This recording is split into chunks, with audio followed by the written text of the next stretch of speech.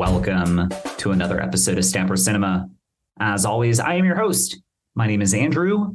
Thank you very much for downloading this latest episode. And this week, I don't mean to brag, but we're going to be talking about one of my favorite films from the 1990s.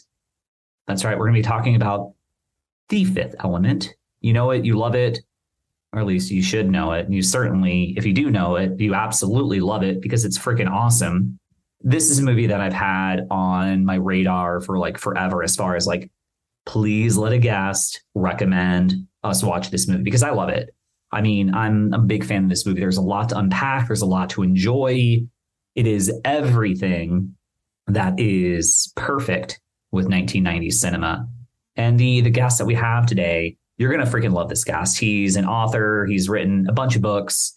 Uh, super awesome personality. You're gonna you're, this one. You're gonna want to listen to everything. You're not gonna want to hit that like skip 30 seconds because we're gonna have a really really fun conversation for you. So it's gonna be a long one. This is gonna be like a 90 minute plus episode, methinks. So let's just get right into it. Please welcome to the show, writer Dylan James Quarles. Again, Dylan, thank you so much for for being on the show. I know that we connected a couple months ago, and we had a mutual appreci- appreciation for the film that we're going to be discussing tonight. But absolutely, before we start talking about the Fifth Element, I just want to know a little bit more about you. Obviously, I know that you're a writer, but if you wouldn't mind telling the listeners a little background, so they might be able to get to know you, where you live, what do you like to do, how did you get into writing, what do you write, things like that. You got it. Well, uh, I live in the Pacific Northwest, which is kind of like a general term. Uh, Portland likes to sneak on there, Oregon, but I think they're a little too far south for me. But, you know, that's just me being prejudiced. I'm a Washington guy. I live out on the Olympic Peninsula, which is pretty much the most beautiful place that I've ever been. And I've been a lot of places. Um, I'm a writer, like you mentioned. I write genre fiction. I like to entertain. I like to, you know, like take people to crazy new places, tell them things maybe they've never heard, or like break down existing tropes and kind of subvert them and have fun with uh, all of that. So I really got into writing because I was bored and I was using my imagination to fill that boredom. And I decided that I should probably monetize it because um, I was wasting it if I didn't. And it turned out that it kind of worked out for me. You know, I was able to write a few books uh, while I was working at a job that was not exactly dead end, but more or less. And um, those books took off and uh, kind of got me pegged as a sci-fi guy for a few years. It took me a little while to shake that off. And uh, I do love sci-fi. Obviously, we're going to talk about sci-fi. It's like my it's my go-to. But I wanted to like branch out, do some other things. So I write horror, I write sci-fi, I write uh, urban fantasy. I'm told is the genre. You know, like magical, mythical things happening in the real world, in our world, not like way back in the day with wizards. Um, I don't usually dabble with wizards. Um, I try not to, at least and uh, I've been having a lot of uh, fun lately writing horror. Um, it's kind of locally focused where I live. There's a lot of uh, neat stuff that's taking place out here. Um, kind of frozen in amber is what I tell people about my town. It was a big hub of industry back in the day.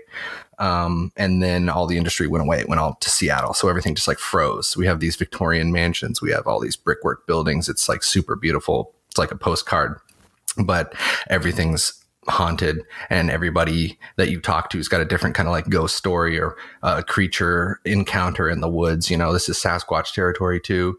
So i started kind of breaking some of that stuff down and trying to um, figure out what the secret history of my town port townsend was as opposed to the really well-trod history history. So that's kind of what i've been doing lately. You, you obviously reference portland. Seattle's another town obviously in washington where you're at. Like proximity yeah. wise, how far are you away? How far are you from Seattle? Well, as the crow flies, we are about, we're not that far actually. Um, the deal is, I'm out on the Olympic Peninsula. Um, so you got to take a ferry if you want to come out where I am, or you got to drive all the way around and take some bridges, a floating bridge. That's always fun. You know, the waves are going, it's going to. Um, so yeah, that's where I'm at. I'm out on the tip of the Olympic Peninsula, not on the on the inner tip. So like I look across at like a whole system of islands that are really beautiful. We can take ferries over to them. We do a lot of sailing out here where I'm at. This is a maritime community, and um, I grew up here, so people around here know me as as that writer who's kind of bringing a little cloud of horror on our pretty little town because they try to sweep that shit under the rug.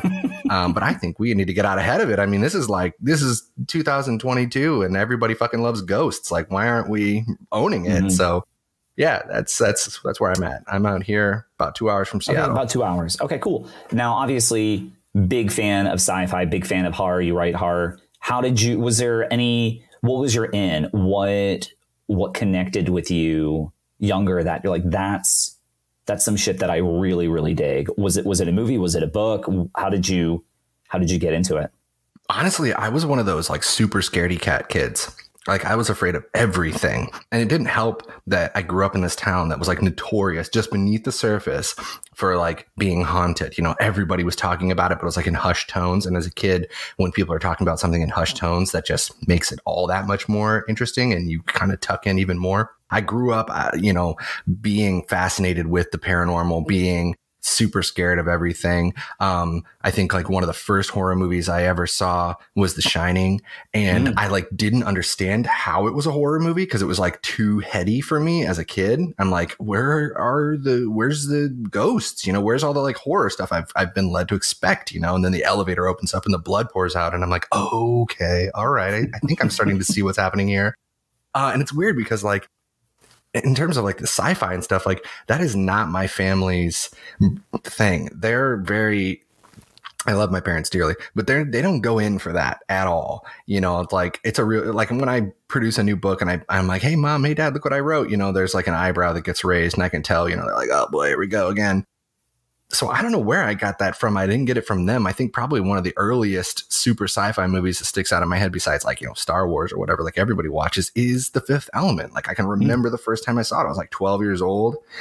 I was like, "Whoa, what are we doing here with this?" You know, like what? It, this is sci-fi too? Because I kind of thought it was all like space westerns and Star Trek, Deep Space Nine. No, no, no. Uh, Next Generation. That was always on the TV. You know, like I didn't know what it could be, and that began my fascination. And God, I'll I'll save it for the when we really tuck into the movie. But man, as I was watching it last night, I was like, oh shit, I'm seeing the genesis of a lot of stuff that ends up in my books watching this movie. So yeah. Well, I mean, that very well may be a natural segue to get into it anyway. I mean, you're if you're going to drop the Fifth Element, which is the movie that we're going to talk about, the movie that you selected for this episode.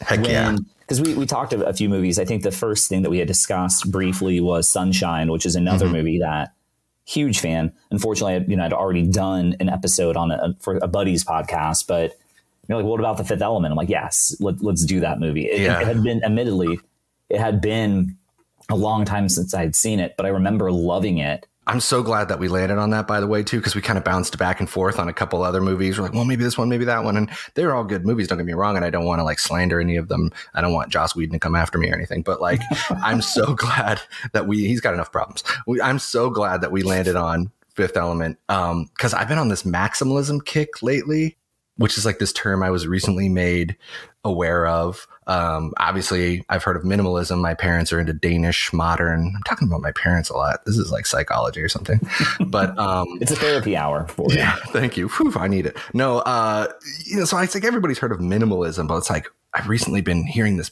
buzzword like, oh, maximalism, maximalist filmmaking. I'm like, what is that? And I start tucking into it, and it's like Paul Verhoeven. You know, it's like Starship Troopers, Total Recall, Robocop. I'm like, okay, these are movies from like the late 80s on into like the mid, early, late 90s, kind of all in there, where we're like just doing like fucking balls to the wall. Like we're kind of cramming a lot of shit in and we're having like fun with it too.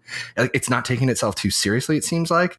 So, you know, when we landed on the fifth element, I already kind of like was thinking about the beats that were really fresh in my mind from the story, the stuff that, you know, never lived, like never leaves my mind, lives rent free.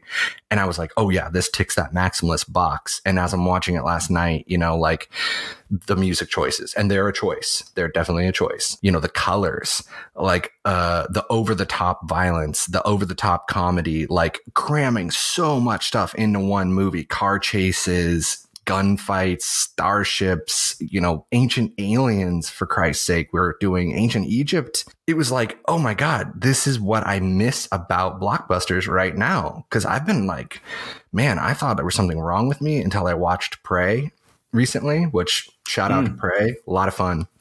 Dude, I loved it. Right. I, I, I, freaking lost my mind over how great, so good, how great Prey is. I've just been like, I thought something was wrong with me. I thought, I thought, like, honestly, I thought Avengers Endgame broke me. Like, I'm kind of a Marvel nerd, but I'm like the hugest Marvel nerd. I like the MCU.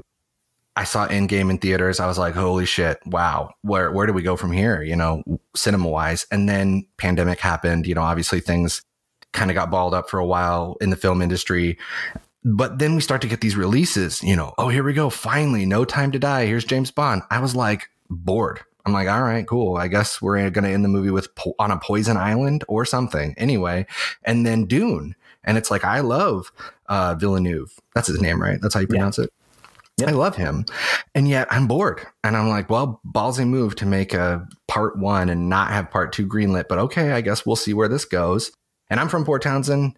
Uh, you know, that's where I live. That's where Frank Herbert used to live. So Dune is like the, you know, that's like gospel out here. So it's like the Dune heads were in attendance. It's not like I went to like an empty fucking theater and didn't have a good time. I went to a packed house of people who fucking love Dune. And I was like, it's fine. It's good, but I'm bored. And same thing happened with Shang-Chi. Same thing happened with, uh, into the Spider Verse, or no, no, not Into the Spider Verse, but the live action version of Into the Spider Verse. You know, no Way Home. It's it's just been happening over and over again. And so I'm like, oh man, I'm broken. And then I see Prey, and I'm like, okay, thank God, it's not me. It's these movies. They're something, you know, it's like the the the Principal Skinner meme. No, it's not me that's wrong. It's the children who are wrong. but it's like, I need that maximalism. I need like to hit the ground running. I need to like be entertained. Like that is the point of a blockbuster. And I don't know if it has to do with like I don't want to go on too much of a green screen rant but like I don't know if it has to do with like just this like saturation of computer animated everything that's taking place nowadays in films that makes them so hard for me to like really enjoy because there was certainly a lot of computer animation in Prey. Um, and there's a decent amount of it in um, Fifth Element, not for nothing. And it's like 90s computer animation. So mm. it's like, it's even more, it sticks out. But like, there's a lot more like blending of those two worlds, like the digital and the real world in both Prey and Fifth Element. And I know we're supposed to be talking about Fifth Element, so I'll swing back towards there. But like the sets, like we're doing sets, you know, like Bruce Willis's apartment isn't a warehouse in Atlanta. It's a real space that you could see. And that kind of like brings like a comedy element or like the ship, you know, the, the cruise ship at the end, like so many giant sets for these explosions to take place in that are real with like real fire. And there's that shot when Bruce Willis goes jumping off the balcony after he after he has uh, you know, and, and it, it's, it's, he's getting shot at by all those crazy aliens. What are they called? The um, oh god damn it, I'll pull it up. But yeah, yeah, yeah. He's getting shot at by all these guys, and and he goes jumping off this balcony, and it's like there he is in the middle of the frame, like John Johnson with a bad die job Bruce Willis's body double, just like flying through the air. But it's like, I don't fucking care. It's a real human being escaping real fire. It doesn't have to look like Bruce Willis. It doesn't have to be a photorealistic computer animated version of Bruce Willis. I like it. I'm here for it. And it just fell, I just fell into it so hard as I was watching it. I'm like, just the same way that happened to me when I sat down to do a rewatch of um, Starship Troopers and Total Recall. I know I kind of name dropped them already, but it's like, I miss that. Like, take me for a ride. And while you're taking me for a ride, don't take yourself so fucking seriously because the world's serious enough, you know, like, mm.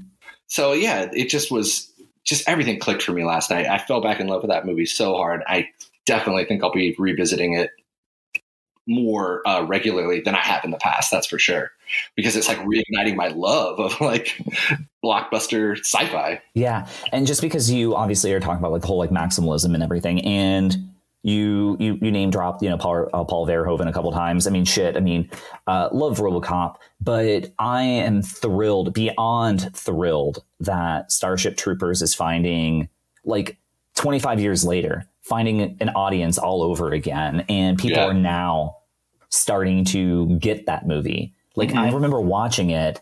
I remember like the preview and they use like the Blur song too, and you think it's going to be like an oh, over yeah. kind of like action movie, and it's a kick ass trailer. Totally. And I remember watching this movie, and like, this is nothing at all what the movie was kind of marketed and packaged as.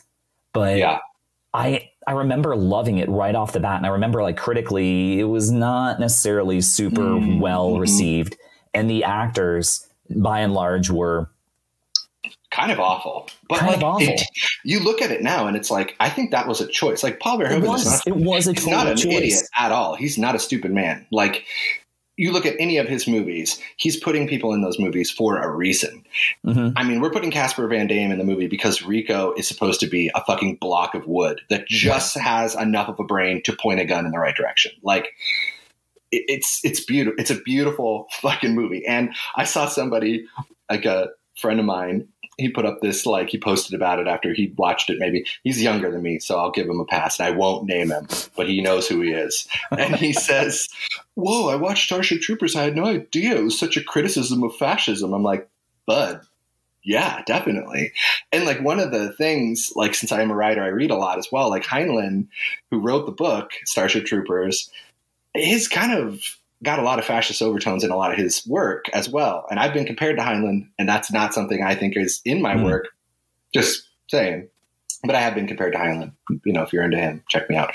But like, it was almost like a, this cool thing to see Verhoeven be like, "Hmm, this book's a little bit fascist," and the author is thinks it's cool. So I'm going to go ahead and just really lean into it and show how fucking dumb that is. You know, like Mhm. it just works so beautifully. And in a way, you see that uh, also in the Fifth Element. Like I was noticing, like how militarized everything was. Like no one had any rights. Those cops came up, uh, jumping around, obviously. But when Bruce Willis, he's won the tickets to go. You know, the army's rigged the um, the army has rigged the, The contest uh, contest so that he can go and get the stones. He can go on the cruise, and everybody's trying to like fuck him over so they can steal those tickets. Which I kind of love how like it's this like Keystone cops, like this like total Mickey Mouse mafia of like bad guys who just can't figure it out. Like the absolute evilest thing in the universe hires like a fuck up like Gary Oldman who hires successively more fuck uppy fuck ups to like carry out this mission. But you know they they they call in as some like they say Bruce Willis is like selling like illegal arms or whatever. I don't remember exactly what it was. So they they basically swat him, and but luckily, you know, the priest has switched. You know the IDs on his door, uh, and so the cops go to the wrong door. But they, you know, t- they go into the apartment complex. They stick some little card in a slot. They punch in some button all over the loudspeaker. It's like this is a police action. Everybody go put your hands on the yellow circle. Nobody has any fucking rights. They're in their homes, right? Like it's total fascism. Like the cops just come and arrest you if they want to. Put your Mhm. hands on the yellow circles or else, you know, like yeah. and it's all over that movie like the military kind of industrial complexy stuff but it's not like beating you in the head with it and there's definitely no like resolution at the end of it other than the, like um Leeloo needs to be convinced that like even though mankind is super warlike you know they're still worth saving it's kind of like the only time we're sort of touching on like hmm we're pretty fucking violent on our own without absolute evil just coming for us, you know. Um, but yeah, it's just I love that whole like vein that was seemed to be running through um, like all those '90s blockbusters. Like it's almost like they saw the writing on the wall way before we did. Like culturally speaking, like hey, everybody, let's start telling the kids now that fascism's bad because like their drunk uncle at Thanksgiving he's not getting it or something. um, I mean, a lot to unpack there. But if I were to kind of like hone in on something, I mean, obviously you you, you mentioned uh, like military, you mentioned government, and look no further than look who like the the president of everything is is fucking Mhm. like like Tiny Lister, right? He's Yeah. supposed to be this authority, and you know, obviously he's he's a big dude, but nobody's going to look with a straight face and say, "Oh yeah, he's definitely authoritative." Uh, somebody that can that can run the show, Yeah. and it, it's just completely like kooky. That's like- that's like the future that they live in though right? Where somebody like that is the only person like that can run the show. It's almost like the strongman trope but like literally you know like right. yeah. Like the only person that could actually hold this crazy society together is somebody who looks like he could seriously like put you through a wall if you looked at him sideways. Now, like Dylan, we've been talking for, you know, um, you know, 10, 15 minutes or so, maybe longer, but we haven't, I don't even think we've kind of broken down what this movie is technically gosh. about other, like, w- do you feel comfortable just kind of like, you know, like Cliff Notes version, what Yeah. this plot is, is essentially about? Yeah. So the film is about this like cycle of evil that happens every 5,000 years um, where these planets align and this sort of like ill-defined evil i'm using air quotes for the listeners at home will arrive and try to wipe out all life in the universe. And there's these aliens that have been battling it or kind of like holding it back for we don't really know eons. They're the oldest race. Their language is even called the divine language. And they have these stones, four stones, one for every element, and then they have a fifth element, which they say a lot in this movie. They're definitely saying the fifth element all over the place. And when you bring them all together at the right time, you will like unleash this weapon. Again, it's kind of ill defined until the end of the movie that will defeat evil and spread light to every corner of the universe. So that's sort of like what the thing of the movie is, the driver. Um, the film itself starts uh, where I think most movies should start in Egypt in the early 19s. We've got this. We have Luke Perry making an yeah, appearance. Luke Perry for like two minutes. Of all, yeah, I know. For like, and he's like one of the top billed casts when you're watching. He is. Like, he's like in like that like top billing, and Yeah, he's only in there for like the first two minutes or so. Yeah, it's totally crazy. Dylan McKay, man, he was hot as fuck then, so we had to make sure he got some screen time. But uh, they're like, you know, he's there with some professor, and they're like in this Egyptian tomb and whatever, and it's all kinds of ancient alien stuff all over the place. And then the ancient aliens literally show up. And you know they got the key, and there's a priest, and there's all this great stuff going on, and that sort of like sets up the thing. Like the evil is coming, you got 300 years to figure it out and then we jump ahead to 300 years and we have got this really crazy future um, which i think is so like deep for how little they actually spend like how little time they actually spend explaining it. It's all visual. You just like you see this future. It feels alive because it's really well thought out. And the evil is on its way back now. We're in space.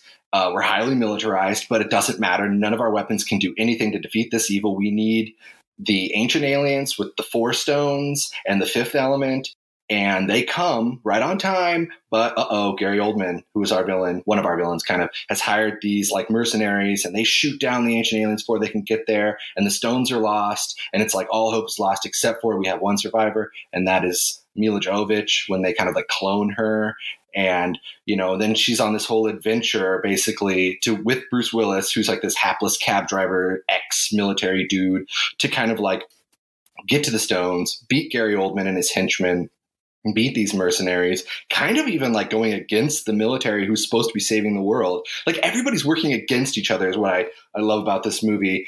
And they have to you know get the stones in time to stop the evil. And you know spoiler alert they do. But like so much insane stuff happens in between there that it's like it would take us an hour or more to break down all the story beats. But more or less it's about you know defeating ultimate evil it's all about the setting though it's all about the world in which this adventure takes place that makes it so specifically maximalist and so fun. You know, I mean, you could take these story beats and you could drop them into any number of films and you would recognize them for sure.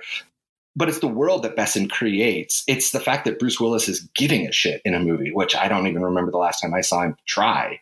You're seeing it all happen and it just comes together in such a way. It's like totally iconic. I feel like it's one of these iconic movies that maybe doesn't get the credit for being as iconic as it is. I guess. Does that make sense? Yeah, no, totally, totally.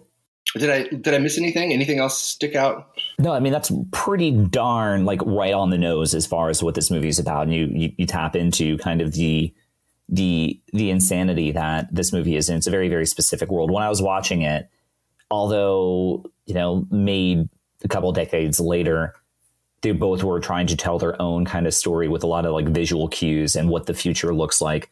But there's some like some some like serious like strong vibes with like Terry Gilliam's Brazil with when Mm, you look yeah. at this movie and just the way that they were really in kinetic. movie. Pardon me.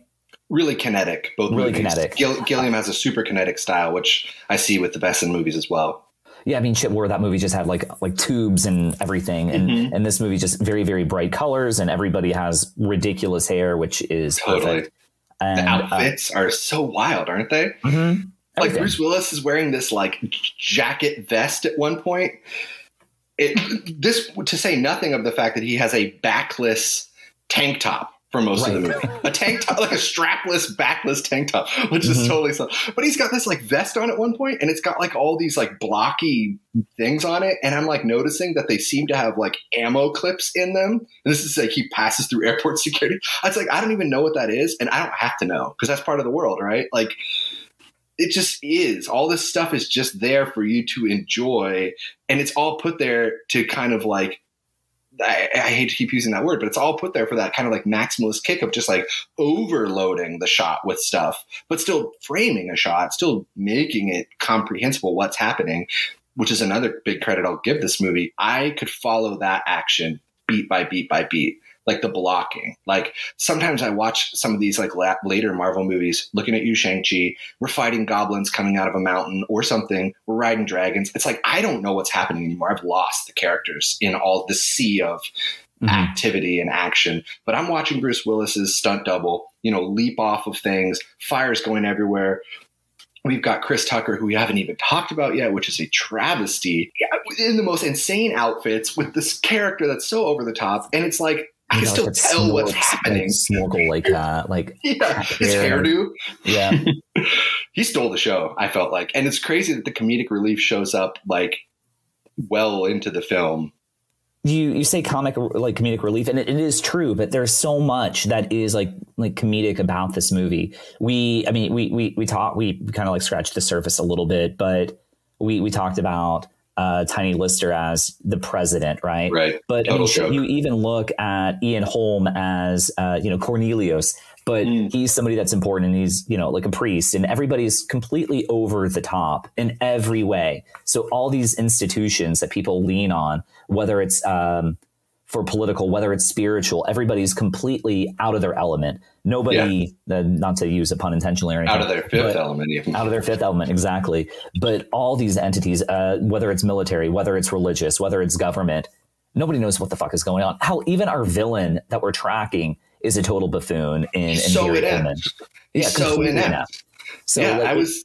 It's like I was saying, like everybody's like working against each other because like everybody is so bad at their jobs, Mhm. and they and they only focus on their jobs. Like nobody can see the bigger picture. It's like even Bruce Willis, like when these military folks show up to be like, "We need you to help us save the world," he's like, "Yeah, I need you to hide in my freezer." You know, like yeah it's like everybody is just like the buffoonery is cranked up to 11 i was thinking about cornelius's um and i'm forgetting his name but he, he has like this assistant or or like a or like a trainee or something like a younger right priest yeah yeah yeah yeah.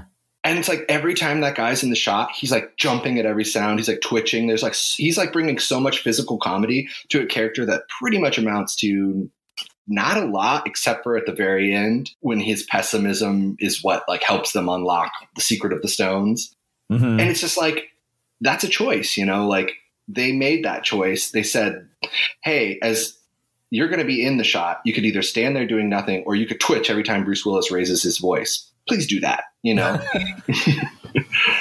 Um, just a few quick little technical things, just because you know, just to, obviously for the listeners that maybe haven't seen it, we've already referenced that Bruce Willis is our star. He plays Korben Dallas. Gary Oldman is our villain, who plays what is his name? Zorg. Zorg.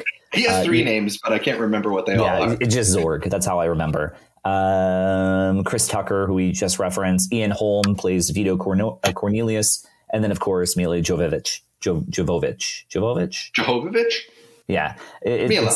Milla, yeah, well, just Milla. Uh, Luke Perry, which we referenced, Brion James, uh, just Mhm. to throw out, you know, just somebody that's just a great like sci-fi reference for those that love Blade Runner. Um, Tiny Lister mentioned Lee Evans, who has a weird like tiny cameo in this movie, and is there anybody else that I'm forgetting? Probably. um, well you have like john neville he's like the you have like all these character actors um, Oh, like yeah. all the fucking military Tricky. guys For for those that are like a big fan of like trip hop from the '90s, Tricky, the the singer musician guy. yes yes know, exactly I don't know if, if Tricky's ever acted in anything else in his life, and I, I, I don't understand why he's in this movie other than he's just got a really cool voice and he looks like an alien himself. He But- does, and the way he speaks, it sounds like he has like some kind of vocal modulator going on. Mhm. That's just how he sounds. That's just how he sounds. I almost feel like Besson's like, oh, Gary Oldman's like number two could just be anybody. Again, it's like that idea, like he could be anybody. But what if we made? What if he was tricky And so Right. these like 15 lines that he has, I'm sorry, boss, won't happen again, boss. You know, what if they had that voice instead of just another voice? You know, he's like, it's, uh, where, how, how did we lose this? How did we lose this like thread of films meant blockbusters specifically were meant to be a spectacle for the senses. You know like they were meant to like really overwhelm you with more than just visuals more than just special effects you know? Like the fact that like you mentioned that tricky's in there like somebody's watching that movie for the first time in the theater being like holy shit what's he doing in this film? You know Mhm. like what a weird choice. Like we just don't get that anymore as much i feel. And i, I don't want to rag on modern blockbusters too much. There's plenty of people doing that. But as i'm watching it last night fifth element i'm just like is this my like uh decade of films like i never would have thought the 90s would be something i'd want to revisit but as i'm watching it i'm thinking about all these great 90s movies that i've watched recently i'm like oh Dude, man, the '90s like, is a great decade for for cinema. yeah, it kind of was, right? It kind of was. And I was wondering too, like, I want to talk a little bit, if it's cool with you, about like the script too, like from a Mhm. writing standpoint. Like, it has, there are like two times that I clocked, I'm probably missing it, where like the script is written in a way where two different events are taking place and we're cutting between them, but mm-hmm. they're following the same like narrative arc. Yep. Like we're moving the for- story forward, but we're cutting between two different conversations. And I was like, what a cool, like just flourish to throw in your movie. Like, you know, it's it's like it's you could tell that like the director that Besson had a hand in writing because as as they're writing it, he's going, and I'm gonna shoot it like this. And this is how, you know, like when the ship is taking off and they're getting ready to fly out to the um, cruise ship, and Chris Tucker is like seducing a lady, and the as and as it's cutting between him seducing this lady, but then it's cutting to the pilot running down his checklist. But everything that he's saying on his checklist is like you could see how it was immediately being sexualized by Chris Tucker. It's just like what a weird joke to do in your sci-fi movie, but like totally appreciated by me, the viewer, because I'm not fucking bored, am I? You know, I'm I'm laughing, I'm enjoying it. So it's just a well crafted screenplay too, which is another thing. Uh, I'll stop myself. It's it's a really well crafted screenplay, and I just had total appreciation for it watching it. Like now having written several books, um, and I, I honestly think I have not revisited that film since I really began writing in earnest. Uh, so it's like, oh shit, I really appreciate what's happening here, like just on the page, which probably is what helps them, you know, go forward and like get people to sign up to be part of this movie, get them the budget, whatever, whatever. Um, where I feel like we've kind of like things have maybe kind of inverted a little bit now. Like it's not a great script that sells a movie anymore. It's like the potential to franchise it and, you know, like what intellectual property it's already based off of.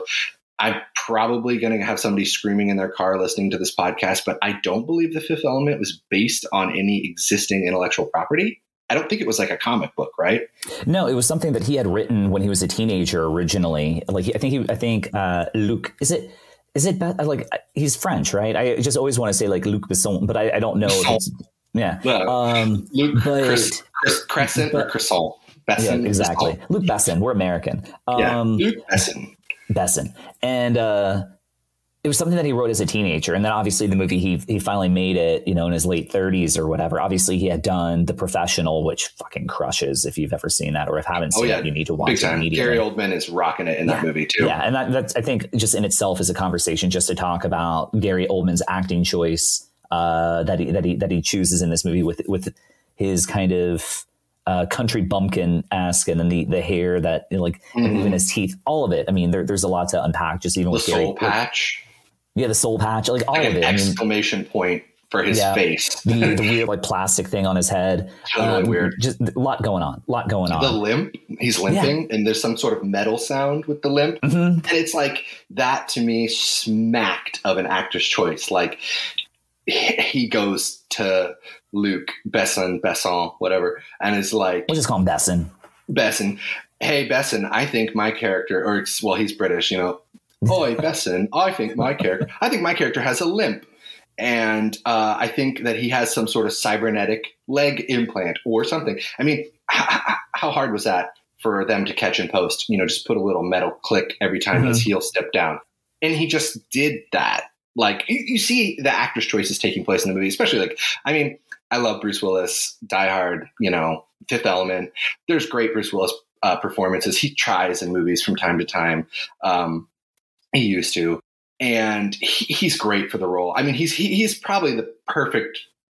I, I'm glad they went with him and not like an Arnold, like a hard body, like total beefcake kind of guy. I'm glad that Korben Dallas was like, he's a little light, he's a little slippery. It works, and we're definitely kind of doing the Die Hard thing. They take over the ship. There's a terrorist. You know, take one man takes them all. All that stuff is great. So I'm glad that they went with Willis. But it's like Gary Oldman is fucking outclassing everybody in this movie with his just like his facial expressions. Like when the bomb, you know, when he he plants a bomb on the ship and then he stops the bomb when he has to go back to the ship and he stops it at five seconds and he has this sigh of relief and then you know the the mercenaries they've planted their own bomb for honor as they say and it pops up and it's this like totally crazy looking again we're going way over the top like we could just do like a a little black box. That's kind of what Gary Oldman's bomb was. But we get this like triangle thing that comes up out and like unfolds and comes up out of this briefcase and it starts at five seconds. And Gary Oldman's face literally just says, "Mummy." You know, he makes that face. It's like Looney Tunes. Yep. He just makes that, but he, but he does it with his facial expression, a little quiver of the lip or whatever, and it's like you could tell like this is a fucking actor mm-hmm. in, a, in this totally over the top movie. And I mean, Ian Holm too. I mean, he's that guy's an actor with a capital A, and he's all over the movie being totally goofy and silly. Um, yeah, so it's it's just got a lot going for it. I don't know if your listeners can tell, but I like this movie.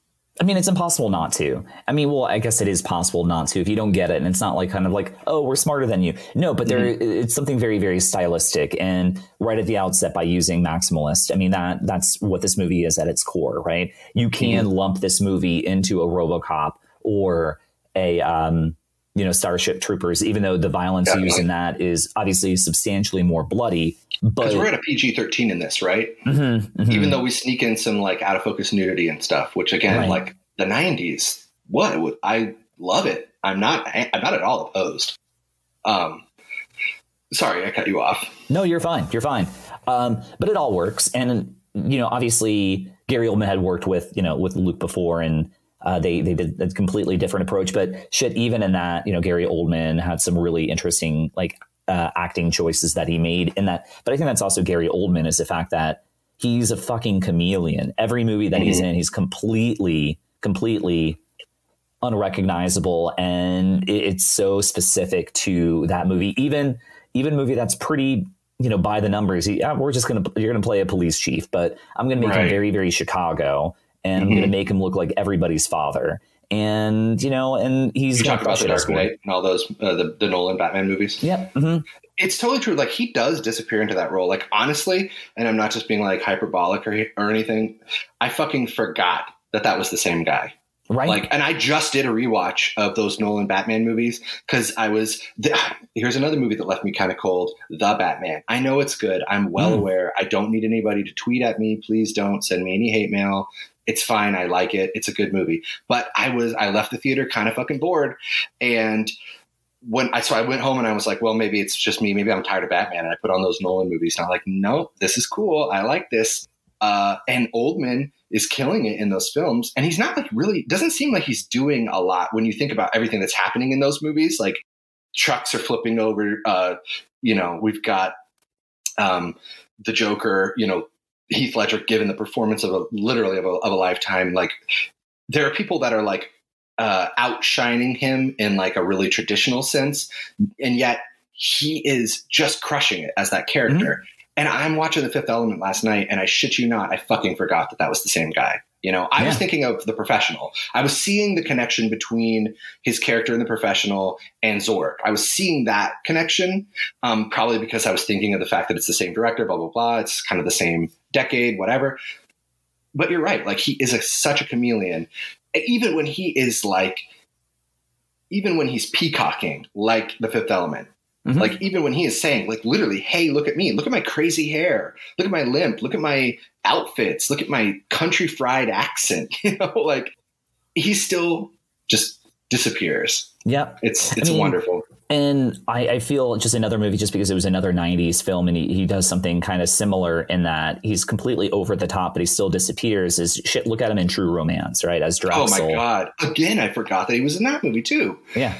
And you know he, he's got like the the dreadlocks which basically he did that that whole look but created this uh, you know uh, character choice by his vocal stylistics of you know trying to pretend um, he was black essentially his whole yeah character he was like yeah exactly. And it's a that's a choice. Again like i it's so it's weird. It's like the 90s had so much problematic shit going on. Like i don't want to lose this gary oldman thread so let's we can circle back to maybe the problematic stuff because you know we, we live in the era we live in. We do need to talk about it. And there is some stuff in the fifth element and you know not for nothing the professional you know it's besson has besson he, whatever he has a thing that he does that people have noticed and they're not wrong. Um, but with Oldman, um, I was thinking also, uh, you know, another film that he just absolutely kills it in, and it's sort of like always stuck out in my mind. Is like one of the cinematic like Titanics. Like it should have been fucking perfect, and yet it struck an iceberg and sunk. Was Dracula, uh, mm. uh, Coppola's Dracula, and that mm-hmm. iceberg was trying to get fucking Keanu Reeves to do a British accent and Winona Ryder. That is an iceberg that was man made so there's mm-hmm. really literally no excuse for it. But uh, if you if you can like maybe watch that movie like I don't know maybe just like watch it on mute in a bar with subtitles with like closed captioning, I bet you dollars to donuts that's going to be like top 20 movies you've ever seen in your life because it's shot amazingly. It's gorgeous. Acted pretty well. Just those oof, those accents. And Gary but Gary Oldman as the titular Dracula. I mean, he he he disappears. He he's a chameleon in that movie as like the two different versions of Dracula that we meet. You know, yeah, it's like I mean, he played like shit. I think he played like three different versions. I mean, because obviously the one like way back, and then oh, right, right, right. his like old version, and then his yeah. younger version. Yeah, mm-hmm. and it's almost like I mean, I would have bought it. I probably wouldn't have because I know enough now about films. I I, I went to college uh, to be a filmmaker, not for nothing. Where'd you go to school? I went to the Evergreen State College in Olympia. Oh, uh, our, Olympia, my second Washington. guest on here that went to Evergreen. Nice. Yeah, it's a great little school. It's a secret creative hub. And while I was there, I made many, many a short film. I actually made two um, shorts, about 40 minutes each, because uh, while I was attending Evergreen, H.P. Uh, Lovecraft's work entered the public domain. So I had a college roommate. We all had this college roommate who was orb obsessed with H.P. Lovecraft. Um, and so he was like, we can do this. We can touch on it now and we won't get sued. Not like we ever would have anyway. It was like totally stupid. So we, we started making like H.P. Lovecraft adaptations um, way back in the day. Anyway, that is beside the point, but it's fun. It's a fun aside. But like in Dracula, I'm looking at old, old, old, men, old Dracula and young Dracula. And honestly, there's a part of me that if you would have told me that was played by two different actors, I, I kind of would have believed you because he just like he just vanishes into that movie. Just he just becomes the character. You're not like thinking I'm watching a Gary Oldman movie because they, I mean, even the accent and all of it, uh, which is like why it's such a super travesty that he's then sharing the screen with Winona Ryder, who's trying to hold on to this British accent. Like she's got one finger on the steering wheel. You know what I mean? And that car's going off a fucking cliff. And Gary Oldman's over here just like he's just slaying it. Like he's just channeling this character. But yeah, I mean I still love it though. I still I do it. too. I still watch it pretty much every Halloween. Yeah, I mean it's impossible for me not to love Winona Ryder and you know and uh, uh Keanu Reeves, even though not working, not working. Fire. But I still love it because I love I, them both. I'll, I'll, like I'll like get to that part of the movie where Keanu first gets to the castle and he's really having the kind of like his first breakdown that things are not going so well, and he's shouting at Dracula about the fiery blue inferno. I'll just like rewind and watch that again, rewind and watch that again. It's like I need that to be like my ringtone or something. like, mm-hmm. Keanu yeah. trying to say the word fiery blue inferno in a British accent. Not just a British accent, but like an 1800s British accent. Right. Mm-hmm. the Queen's English. Uh, yeah. do we want to get into the the problematic uh, element of? Uh... we probably should. I mean, Milla Jovovich. and we're all we're talking about how she's perfect the whole movie. They say she's perfect over and over and over again, and she, you know she's very beautiful. Um, they they say that she's perfect almost as many times as they say she's the fifth element. But she's a baby. Let's just call it, it what it is. She's literally a baby. She's a baby in a in Milla Jovovich's a 1997 Milla Jovovich's body, and Bruce Willis is all over it. You know, and it's presented as being sweet and cute you know, like she, um, he tries to kiss her while she's asleep. And he admits, you know, later and immediately when she takes the gun and points it at his head that that was not a good idea and he shouldn't have done that. But he still does try to do it. And then, you know, later in the film, when she comes to his apartment with the priest to steal the tickets from him that he's won when the army rigs the um, contest so that he can go and get the stones. Um, you know, we're, we're doing this whole kind of like again, it's kind of almost like a, it's almost like a like a Scooby. It's not Scooby Doo. It's like it's like definitely like some kind of like old comedy bit. Like, oh, we got to stick the um, we got to stick the army guys. Uh oh, Leeloo's at the door. Stick the army guys in the fridge, and then Leeloo and the priest come in. Uh oh, the police are at the door. I got to stick you guys in my bed. And stage Leeloo, play my, as well. Yeah, we're kind of like shifting people around, and there's this, and it's it's totally presented for comedy. But the he he puts her in the shower, and the shower disappears up into the wall. It's all very kind of it's it's a neat um, apartment the way that it's designed, and I touched on it before. It seems like a boring thing to talk about, but it is kind of cool. It's thought out. Um, anyway, she's in the shower. It goes up into the ceiling. And when everything's done and the cops have come and, and violated everybody's rights and they've arrested this guy next door um, who says "smoke you" when yeah, the cops put your hands in the circle, which I love that. I'm gonna start saying that to people. Um, Bruce Willis, you know, hits the button and the and the shower descends, you know, from its wall pocket, and there's Milla Jovovich, and uh oh, she's like a little silly kid who got wet in the shower, and she's shivering, and it's just like the whole energy is baby. Yeah, mm-hmm. it's hot. It's hot baby because it's directed by Luc Besson, and mm-hmm. um, that's the same energy. Thank God, at least Mila Jovovich is not a child. She just acts like a child you know, Natalie Portman was a literal fucking child. Yeah, in, she was like 13. The professional. Yeah. Yep. That is some dicey stuff. Like I still do love that movie because it's a great film. It's a, just a it's just a good film. And you know, bless the French for pushing us into uncomfortable territory sometimes because if we had it our way, it'd be all fucking Steve Rogers. And I sure do wish I could dance with Peggy just one time, G Willikers. You know, it's sexless kind of cinema that we're stuck in right now but you know, it it just needs to be addressed, I suppose. Um, I still love the Fifth Element. Don't get me wrong, and she kicks so much ass in this movie too. Like literally, she's kicking the shit out of these aliens. Yeah, quite literally. You know, while he's doing it with a gun, she's doing it with her bare hands. But like, there are these moments where she lapses into being this like helpless baby, and Bruce Willis is fucking here for it. You know what I mean? Like, he's all about it. He's totally down with this baby inside Milla Jovovich's body. You know, like I think some of the saving grace um, is is the fact that she's an alien. You know what I mean?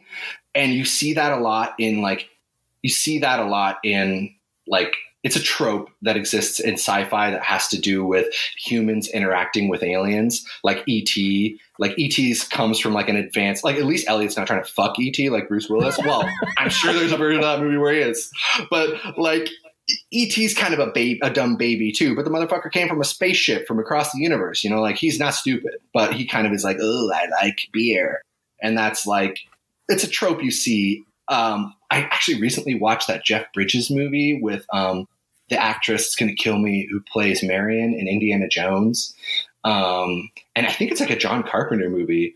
Uh, it's Wait, uh, with Karen Allen. Yes, yes, yeah, yeah, yeah. What is that movie called? Oh, Starman. Yeah, he's a dumb baby. He's a dumb baby. Yes, yes, he is. But it's, yes, he but is. it's Jeff. It's he's a dumb baby alien, but it's Jeff Bridges. So it's sort of like, it's like okay, all right, yeah. It's I don't have a problem with that. You know why I don't have a problem with that probably speaks to my own like biases that are problematic in and of themselves. I'm sure I am a white man if you can't tell by the sound of my voice, but um, like when we're doing it with Milla Jovovich and like not for nothing, like we are certainly playing with like the fact that she is beautiful. There is, like I mentioned, like some nudity slipped in here and there. There's a lot of like jokes made about the fact that she's not aware of how hot she is or perfect, as they keep saying in the movie. So like to me, that stood out as obviously the most like sort of problematic thing. But again, big trade up from the problematic stuff that's going on in the professional, where mm-hmm. we're like we're doing those sort of that we're hitting some of those similar story beats, but it's with an actual child or a right. very young actress singing like a virgin. Yeah, I mean that's not that's a that is not accidental. That's not happening on accident. Right. So you know, and I think I've seen it in some of his other movies too. Um, I don't. I'm trying to think like what other really big like uh, tentpole Besson movies there are. Um, obviously, Lucy's newish. Like, he likes mm. kick-ass women, which mm-hmm. I I totally appreciate that. Like, but they're they're you know who else likes kick-ass women? Joss Whedon. Not to keep bringing that guy up, but we all know now. You know, like yeah. sometimes sometimes that can be a cover for another thing that an, a director or a screenwriter is exploring. You know, yeah. La Femme Nikita was uh, the other. Oh, one. there you go. There's the other yeah. one. Like similar kind of. Yeah. So, um, does it totally turn me off of the film? No, not at all.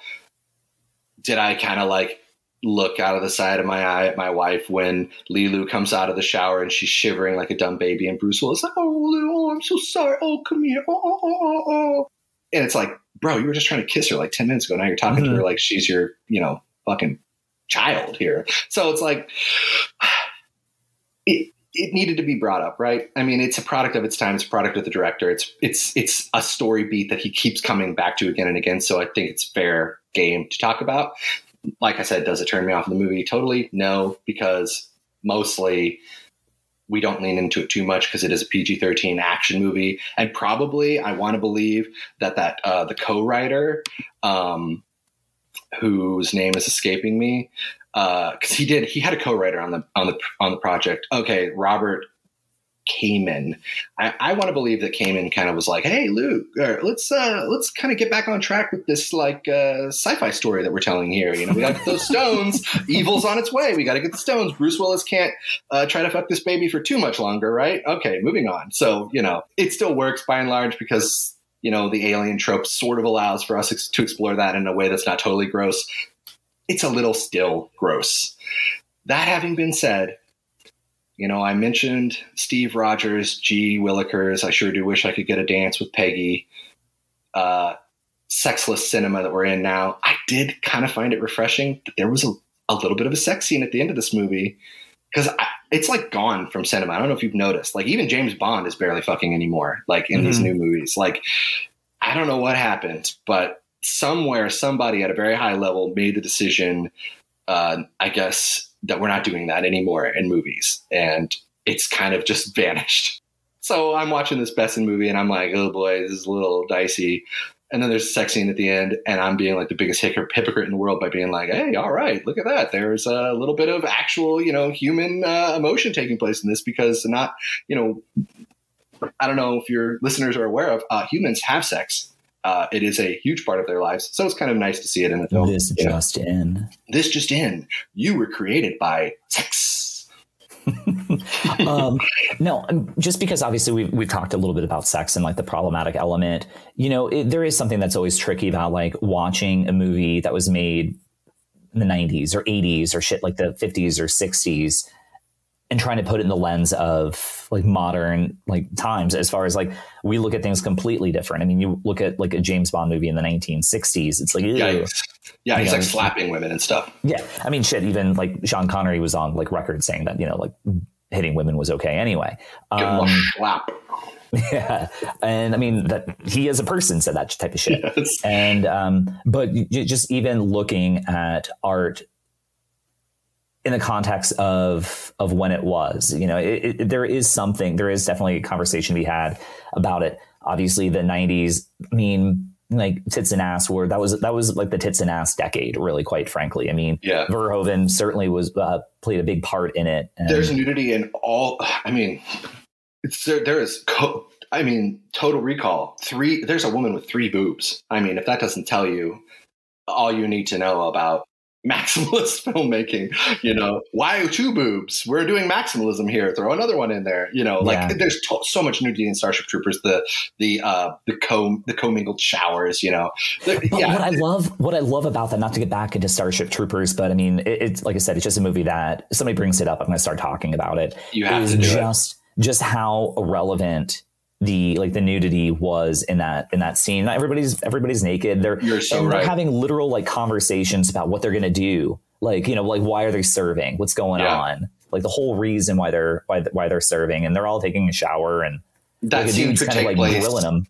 It that scene could take place in the mess hall. That scene could Mhm. take place on a bus, but it takes place in a shower and they're all naked. Yeah. And I do kind of love that because it's almost like it, it's it's like challenging you in a way. It's like it's it, kind of a joke, right? Like at least in Starship Troopers, um, it's like saying to you, like, "Hey, can you pay attention while there are this many breasts on the screen?" Exactly. and you were talking about like it can be hard to go back to some of these films that are a product of their time you know with looking at them through the lens of the era that we live in and for the record you know just because captain america doesn't fuck uh, agent carter doesn't mean that i think me too should go out the window and that movies should just have tons of nudity and creepy harvey weinstein guys should just be like casting couch to like Mhm. every pretty model that comes along. I think that we are moving in a good direction. I just think it's a, a maybe a bit of an overreaction to some really really bad stuff that was happening for a long time, and I think it'll probably all iron out eventually. But what I like about going back to some of these older, uh, it seems crazy to say that the '90s, late '90s, is older, but what I like about going back to some of these older films, and is that there's like in in the same way that Verhoeven is challenging you during the shower scene to be an adult and pay attention to the dialogue because that's actually character building right there in that scene. Like we're literally saying why people are in the army. We're building their characters. Um, and then we're going to shred them apart. Like they're all going to get fucking shredded, but you're going to care when they die because we fucking told you who they are and what their hopes and dreams are in that scene when they were all totally fucking naked. So like in the way that you are challenged in that scene, you can kind of like carry that over if you would like to, you know, rather than writing off a movie like The Professional because of the super problematic elements, you could challenge yourself, you know, to um, process it. You know, you don't have to hate it, you don't have to love it, you don't have to condone it, and you don't have to damn it. You can just look at it and sit with the feelings that it evokes. That's like literally what art is supposed to do. And I think that's kind of why I have been struggling lately with like modern blockbusters, especially um, because I feel like they have really lost their art. Like blockbusters used to be artful, they were over the top, they were crazy. But the person who fucking pioneered blockbusters was Steven Spielberg, you know, and he is an artist too. You know, there's uh, there's stuff, there's character stuff that's going on. There's there are uh, thematic elements that are taking place that are meant to sort of challenge you, like evoke emotions in you, like putting kids in peril in Jurassic Park. You know, um, kids getting eaten in Jaws. That's a blockbuster where kids die. Show me a fucking blockbuster now where kids die, please. Right. You know what I mean? Like, oh, the Avengers, the sky opens up and the aliens come pouring out. You don't see a goddamn person die at all. You see a million aliens die, but you don't see any people die ever because, ooh, we don't want to have, mm, you don't want to have a bad time at the movie, do you? So it's like we've lost that, like, sort of like ability to challenge ourselves in our own viewing. And I'm not saying like I understand that the world is like pretty like bleak right now. It's kind of rough. Um, it seems that way at least. It really seems that way. Um, even though some of the data suggests that things are better than they've ever been before, right? But I don't want to get off into that. But like I I understand the need for escapism, that you don't want to like bring the problems of your life into your escapist uh, fiction. And and and as a writer, I'm really keenly aware of that. Like I write, I'm not writing the great American novel. If I ever do, it'll be completely by fucking accident. I write entertainment and I write escapist entertainment. That said, I kill characters. I won't tell you which book, dear listener, but in one of my books, I kill a pregnant woman. I don't do it gleefully, but I do it because it seriously challenges the characters and the reader. People write me. I wrote that book many, many years ago. People still write me and tell me that they have strong feelings about that when they read it. And I think, good, you should. It's entertainment, it's escapism, but I should challenge you at least a little bit here and there. If you don't feel anything when you read a book, watch a movie, then why did you do it? Did you do it to just turn your brain off? You can do that with TikTok now. You don't need a movie to turn your brain off. You can turn your brain off with social media. So when I'm like sitting over here going, ooh, ah, Bruce Willis wants to have sex with this alien baby, I'm like, and that makes me feel a lot. And why do I feel those things? And why do I have these opinions? And it's like suddenly more parts of my brain are like lit up while I'm watching a space shoot 'em up, ancient aliens fighting evil 1990s movie with a really weird soundtrack. Really and, weird. And Chris Tucker's just screaming, you know, in my ear. I'm th- I'm also fucking thinking though too. So, Mhm. you know, what does this mean? I don't know, dear listener. It's up to you to decide. But I think there's something to be said about challenging yourself just a little bit. You know, when you go back and you look at these old things, um, and not just immediately writing them off, like because they have problematic elements that don't necessarily jive with what's going on right now. Which again, I think is good. I think we are moving in a good direction um, culturally but it's it's important because like what's the point of moving in that direction if you don't reflect on where you came from and how that all fits together so weirdly serious tangent to go on for a movie where there's a, a blue alien that sings techno opera and has stones inside her stomach but there it is right Yeah. Uh, Dylan, I, that was that was excellent. That was a fun little fun little uh, rant to go on. Dig it. Um, we've we've been chatting for a minute. I want to kind of get into just a little bit of, of trivia in just a second. But if there are any like little like final nuggets or anything else that you wanted to Mm. discuss, um, we we can get into it. But like I said, I just want to get into just some fun little fun little factoids, if you will, Oh, just I because I feel like we should cover them. Uh, if I could say anything else about this movie to sell it to somebody who hasn't seen it or to resell it to somebody who has, but has been dancing around that rewatch, um, the the conclusion, the end, um, it's like not an action set piece. I, I didn't count how many action set pieces were in this movie, um, but the very end where they're in the they're in the chamber, they're in the ancient temple, and they have to like uh, figure out how to unlock the stones. To me, felt like an action scene because it had this like timer element, like the the the the the, the evil is rushing towards Earth to destroy Earth, so they're really under a clock. And yet we're not shoot. Nothing's being shot at. Nothing. Nothing is. No. There's not really a lot of like kinetic stuff taking place. No one's leaping around. There's not It's stunt just or like- anything. Not- we're looking at a block of stone and trying to figure out how to make it come alive. And yet, like, I was on the edge of my fucking seat. So, like, this film finds ways to entertain you, even in like something that is kind of meant to be like the we're sort of wrapping shit up, and yet I'm still like. It's still it's like it saves the biggest edge of your seat action for the end, and not a single shot is fired. And I just Mhm. kind of love that. Yeah. Um, one other thing that I, I that I that I was thinking about, just because we had been talking about Gary Oldman, and you just said like shot fired. What I also love about this movie is something that I only just noticed the last time I saw it.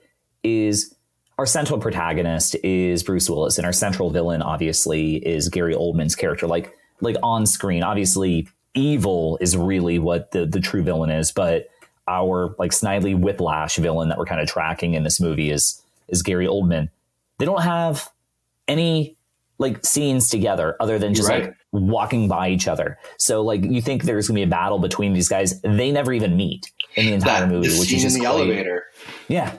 Bruce Willis and, and company get on an elevator, and at that exact moment, Gary Oldman gets off the elevator. That's elevator, and and Oldman looks at their elevator as the doors are closing. He doesn't see them though, Mm-hmm. and I, again, like that's a screenwriting beat that is so fucking smart. It's like so clever, um, because in a way, like Bruce Willis is like proxy, like part of his party. Uh, Ian Holm, he has scenes with Gary Oldman. He has that great scene with Gary Yeah. Oldman About with the cherry. he's he saves his fucking life. You know Yeah. what I mean? He's got Which that is- weird like anteater Mhm. like I love weird that. thing. Yeah. But you're you're you're so right. And honestly, I did not even pick that up until you mentioned it. But you're totally right, and It, it just cool. Yeah, it you know I had seen the movie a lot. I remember, like I had mentioned, I saw it when it came out um, when I when I was a teenager. When I think of this movie, it's so weird that I've got this movie and the Spice Girls connected, but they both Oh, came out like around the same time. That's funny. And, uh, when I think of this movie, I just remember being a teenager and seeing this movie, and then just you know going home and Spice Girls were always on fucking MTV at that time. And so when I Mhm. think about this movie, and I think about that, and I think of like Mila Amelia's ho- uh, hair in this movie, which they had to change into a wig because her hair kept on falling out because of all Oh, like no. the, orange dye and everything. It just it brings me into like a specific time. So Yeah. um, kind of just like get into a few little like tidbits that I that I think that I think of in the movie. Um, now none of these are my own thoughts. These are things that I just I was able to like pull you know on the internet and everything. But the Fifth Element at the time was the most expensive film ever made outside of Hollywood. What? It had a Where does that ninety three mean? million like ninety three Outside. million dollar budget.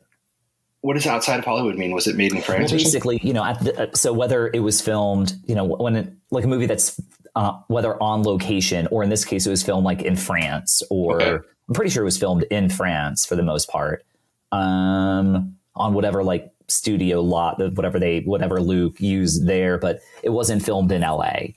And and at that time. You know, I, you know that's obviously been crushed, but I mean, ninety three million dollars in the nineties It's a lot of money. shitload of money, shitload of money even today. But obviously, everything is filmed here in Atlanta, and you know, movies are made with hundred million, two hundred million dollar budgets, like and they're not it's like nothing. They just It's it's, like. I remember the first time. Um, I remember when uh, the first two hundred million dollar movie came out. It was Avatar, and I was like, Hmm. "Holy shit! Two hundred million dollars to make a movie." Because for, before that, I think the most expensive movie that I've been personally aware of, and I'm sure that there was others before it, was um, uh, Lord of the Rings. I was like, "Oh my god!" Like hundred million dollars a pop. You know, for those Lord of the Rings movies, I believe. Um, again, don't send me death threats if I'm wrong. Um, but like the fact nowadays that like I don't want to dog on Shang Chi, I like three quarters of that movie. But the fact that like a movie like Shang Chi can cost like two hundred million dollars, I'm like, where did it go? Where is the money? Is this all just like is the MCU just like a giant money laundering operation, and we're all just like party to it? And I don't even know. Like I just I don't see it on the screen when you talk about the budget for the Fifth Element. Like I immediately I think of the sets, and they are kind of amazing. They're great sets in the film. Like and I love that about it. Like people are in a location, they're in a physical space and they're interacting with it and it really comes across. And I think of, you know, um, the props, you know, like how weird all the guns look, like how Right, overthought everything, yeah. is. Uh, so I can like, I can like, you tell me a number and I'm like, oh yeah, sure. Yeah, I, I could see that. I can kind of imagine the amount, the nugget that went to Bruce Willis being the big star to Bruno, you know, and I could see the nugget that went to Jovovich, a rising star. I can see, I can see these, I can see the money getting piecemealed out here and there. But I see it in the sets. I see it in, I even see it in the effects because I know those '90s effects. You know, the, the cab driving chase scene that couldn't have been cheap to do, and um, I don't see it though in some of these newer movies. When when we he- we hear these astronomical numbers, you know, that are attached to some of the blockbusters nowadays, I just totally don't even see it. Mhm. I absolutely see every penny of that. Was it 93 million? yeah, I see every penny on the screen. Um, and I totally appreciate that. It doesn't feel like a waste of money to me. It doesn't feel like, oh man, so many starving babies could have been fed. It's like, yeah, no, that's they pretty much used it all. Pretty economical, actually. 93, not too bad. Wow. Okay. yeah. Um, another a fun little nugget is while we may know, or maybe you do, or maybe you don't, the listeners probably don't know, but uh, Luc Besson and Milla uh, Milla uh, Jovovich, they were they were married. They were married Oh, for a couple years. But what a lot of people don't know is that he was engaged at the time that they met on the set, and he was engaged to a diva. Uh, so he the the the opera singer he was engaged to. He met her on the set, left diva, married uh, Milla. Mila. Why can't I ever say her name? I've, I've never been able to say Mila. Mila.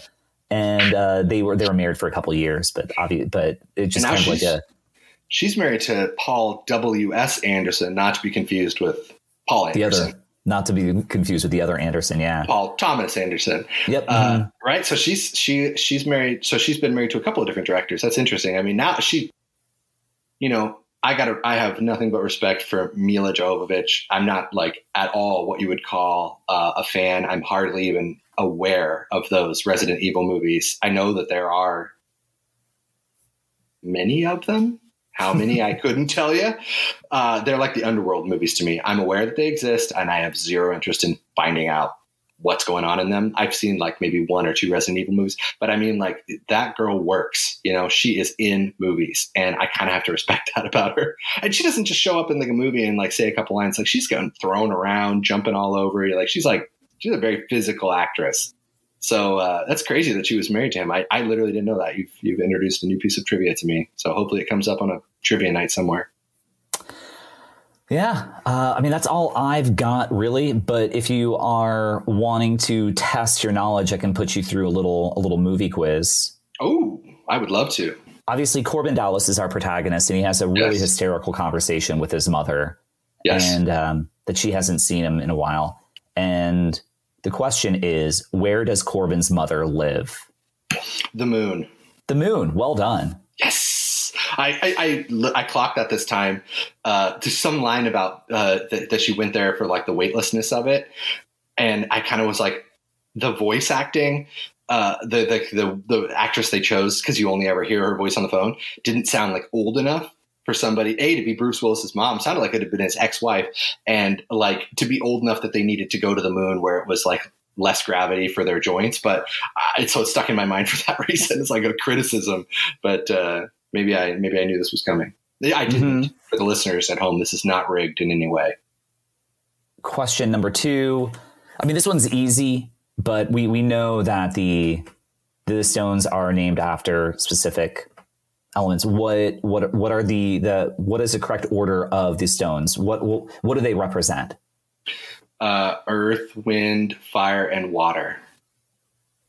Yeah, earth, air, fire, water. Correct. Yeah. Earth, air, fire, water, and then the fifth element, Milla Jovovich, hot Now- alien baby.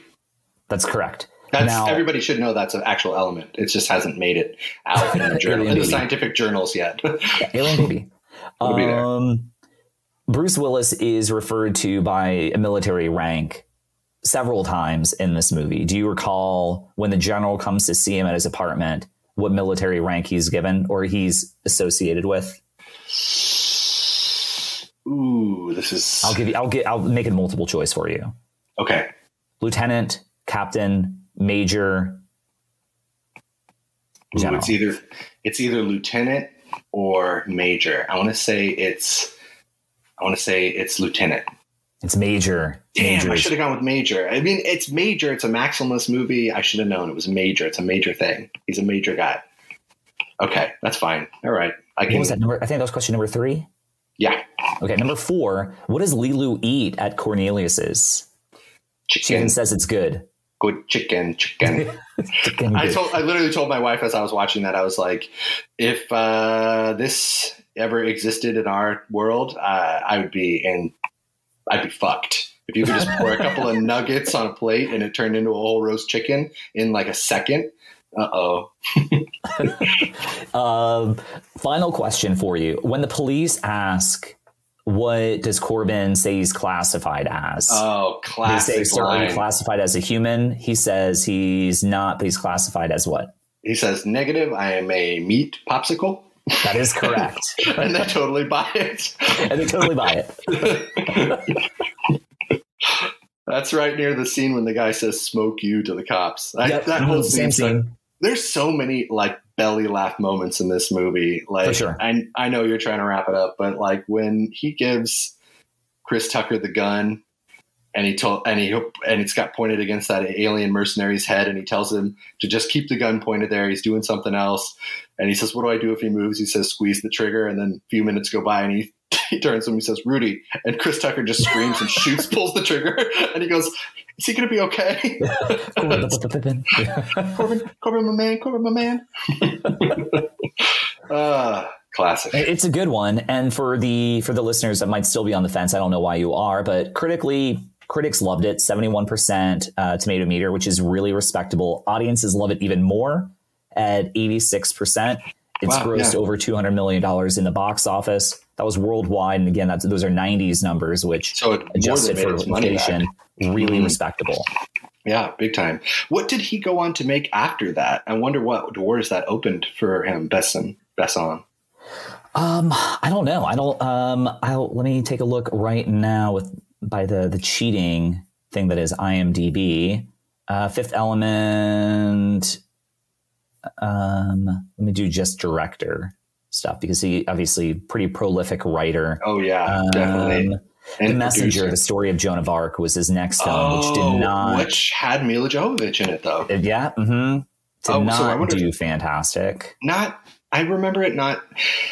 I don't think it plays to his strengths. You know, to be Mhm. honest, it just it lacks. Like when I think of like La Femme Nikita, there's all that neon everywhere. It's totally got like a maximalist vibe.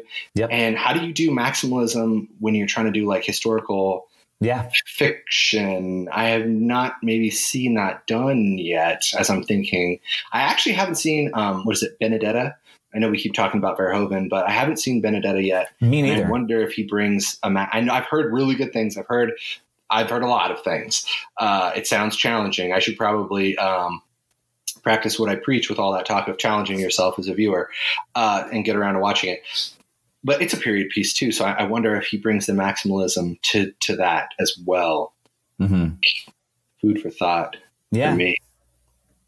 Uh, Dylan, I had a fucking blast, dude. It, it's fun talking to another writer. It's talk. It's fun talking to somebody that that obviously has a passion for the craft as, as another person that you know just went to school for for film and writing and everything. It's it's always fun to meet somebody that's very very similar to you. Uh, so Absolutely, I thoroughly enjoy this, man. Hopefully, this has uh, been a dream for me to be honest. Like it's a it's a literal dream come true to talk about movies with somebody who likes talking about movies and know that someone out there will be like, he can't even remember the name of the mercenary aliens. it's it's great. I love it. It's what I always want. It's what I do. You know, I listen to movie podcasts and uh, oh, what do you like to listen to? Oh, well. So I'm going to be repping your podcast when this episode comes out. Big time. I've already been repping it. Uh, I Oh, love man. my big, my big love, my podcast love is We Hate Movies. Mm. Um, the four guys from New York City, they they kind of do what we were talking. We talked about a little bit off air. You know, they they take you through the beats of the story, but they go on these crazy tangents, and they all kind of have backgrounds in um, improv. A couple of them do at least, and they're all sort of like connected to the industry in some way, not like super directly. Like they're not like directors or like directors of photography or whatever, but they're all really fucking knowledgeable and super funny guys. And over the years, it's just become like part of my like life. Uh, listening to We Hate Movies. I'm a Patreon subscriber to one of their to their top tier Patreon. Hey, if you're listening, guys, you know I, I- I pay for some of that, and I love it every second of it. Uh, so that's like that's my go-to bad bad movies. Typically bad movies, but they have a Patreon tier where they talk about good movies that they love as well. And um, ever since I started listening to them, you know, years ago on my commute, I was like, I fucking want to do this. Like, this is what I want to do. You know, I haven't gotten to do that since college when I left that environment of like like minded film nerds, you know, who just like their idea of a good time is like, yes, getting drunk, but getting drunk while watching and talking about either a good movie or a very bad movie. And like, it's just what I what I aspire to do with my life besides writing. You know, hopefully I get rich enough as a writer that I can just have people come over to my house and we can just get tanked and watch awesome movies and not awesome movies and then talk about them later on the internet. Yeah, yeah, absolutely. What's next for you? What are you? What are you working on? Anything right now? I am. I'm working on a series of short stories. Uh, I recently adopted a son, my wife and I. Um, Oh, awesome! Congrats. Thank you. Yeah, it's the best thing I've ever done in my life, easily, and um, by a country mile, by a city mile too. Um, so, novel writing has taken a bit of a pause because it's a really in-depth process for me. Um, like I said, I write genre fiction. I tend to write uh, science fiction, fantasy, action adventure, horror, and these all take a lot of like research and thought. And I do give a shit about my characters um, in a big way. So um, it's too hard to take that deep dive um, because he requires so much love and attention, and I'm more than happy to give it to him. So what I've done is pivoted to writing short stories. Um, I'm from this town called Port Townsend, like I mentioned before at the top of the show. It's got a long history of like spooky occurrences, ghosts and hauntings, all these Victorian mansions. Uh, people sighting creatures in the water. We're surrounded on three sides by water. There's all this stuff has been around since I was a kid. I've started taking these stories. Some of them are based on like actual Port Townsend lore, and some of them are based on the stories I told myself as a kid growing up here when I was a fraidy cat. Um, and I've started to turn them into short stories. They're all interconnected because they all take place in Port Townsend, but you start to see characters overlapping into other stories. And my idea is to take maybe write seven or these, maybe six or seven. And when all is said and done, it will more or less function as kind of a novel. But for mm. now, I'm releasing them as short stories. And fuck if they aren't just doing really well. I've got two out now. Um, the series is called A Secret History of Port Townsend. You can find it on Amazon. Um, you can find it in some bookstores if they're cool. If they're not cool, tell them to be cool and carry the fucking book because it's not that hard. They're short. They're perfect for like my sister reads them on the ferry because I, I told you we're ferry folk out here. We go on boats, we go places. So you want to get somewhere, you got to take a ferry. My sister reads them on the ferry. She says they're perfect for like a ferry ride. Um, I've got two out now. One's about selkies. I love, I love that kind of stuff, and the other is about ghosts and ghosts plus. Uh, and I'm working on a third right now that's about witches, but it's actually really about discussing Port Townsend's not so talked about history with spiritualism in the um, late 19s and uh, early 20s, you know, when the rich uh, had no better use for their money than throwing it at charlatans who could conjure ectoplasmic, you know, apparitions of their dead uh, family members and whatnot. And I'm kind of saying, like, well, maybe what if it wasn't all bullshit? And um, I'm kind of toying with that. Also playing with the fact that a lot of these old Victorian mansions are now working B and B's, and like how absolutely abysmal and horrible would it be if your life was to like have strangers come into your house and like mm. stay in it, and you had to like cater to them, and then like what if they were not good people? You know, so that's sort of the hmm. premise mm. of the third one that I'm working on right now. But yeah, that's what I've got going. And then I've got uh, the Ruins of Mars trilogy. That's my tentpole uh, sci-fi trilogy, hundred thousand copies downloaded and read for that. Um, certainly my biggest claim to fame up until I won a Best Indie Book Award for my last book, which is called There Be Monsters. And um, I am a maximalist writer. I'm realizing this about myself as I go on this maximalist uh, watch party of movies. I'm seeing it in my books. You know, I like to pack a lot of shit in there and have a lot of fucking fun because I am trying to entertain. Well, dude, Dylan, I've been entertained, and I'm sure the the listeners have thoroughly enjoyed this one. If they want to find you, how do they how do they get in touch? They they go to your website. Where can people learn yeah. more about you? Sure, you can go to my website. It's djqfiction.com because I have a long name, Dylan James Quarles. Like I was telling you at the top top of the show, I should have picked a pen name, but oh well. Uh, you can find me over there, djqfiction.com there's links to all my books. There's also like press releases and cool stuff, and like a like a blog that I don't work on nearly enough. Um, I'll put you know links to this podcast there uh, as well, and um, you can also find me on Facebook. Uh, Dylan James Quarles. It'll find my author page. Um, you can find me on TikTok, author at author Dylan James Quarles. Uh, I'm killing it on TikTok right now somehow as a man who's 36 years old. I, I, you know what? It's my film degree is finally paying off, you know? So, uh, those are, those are the fun places to find me right now. Well, awesome. Again, Dylan, thanks a lot, bud. This has been a great time. Yeah, it's awesome. Anytime, anytime you need somebody, you've got my number. Again, major, major thanks to Dylan for, for popping on the show. Holy cow. What a conversation, right? I know that you definitely got something out of it. Maybe you've seen the movie, maybe you haven't seen the movie, but we're talking like high energy, right? So I think we did a good job of convincing you to give this movie a look and definitely check out Dylan's work because uh, pretty freaking awesome. And didn't know this going into it, but he went to the Evergreen College, which this is now the second, maybe third guest that we've had on here that went to Evergreen. I only mention that because of the fact that one of my one of my dear friends uh, went to Evergreen State College uh, that I knew growing up. Hello, Molly. Molly's not listening, but anyway, so I think it's really cool. Obviously, Washington State in general is like like perfect. You know what? I'm going to shut up. I don't need to hype how awesome Washington State is. He already did that. Am I right? No. Uh, Dylan was awesome, and so was this episode. So thank you, everybody, if you've gotten this far into the into the podcast to hear my little closing rant. Please do me a favor, like, listen, subscribe, rate, review, all those cliches. But honestly, please, yeah, on it, really, really, really, really leave a review. Hop on whatever platform you're listening to. Give us a five star. Give us a little little review blurb that the guests are awesome and that nerdy host he's pretty okay too. And then share it on whatever form of social media you have.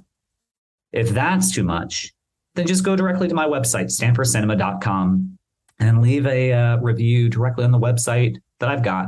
There's like a little blurb that says reviews. Click on that, do your thing. And while you're at it, also take a look at the episode. Uh, uh, while you're at it, do yourself a favor, look at the epi- episode show notes, and I'll have a link for Dylan so you can see his website and it'll uh, directly click, uh, link you to his books, his bio, what have you.